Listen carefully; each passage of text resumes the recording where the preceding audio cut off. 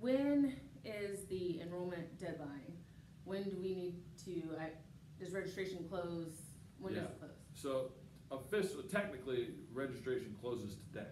Now, it's open. We need people to register. We need people to register, again, just like we talked about busing and class sizes and everything, else. we, we need people to register.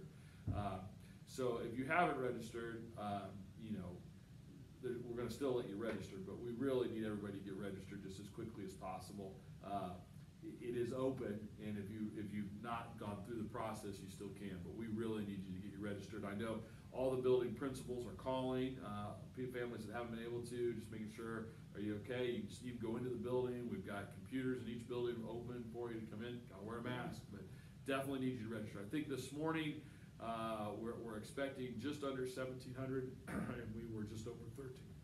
Okay, so we're getting there, but we still got ways to go.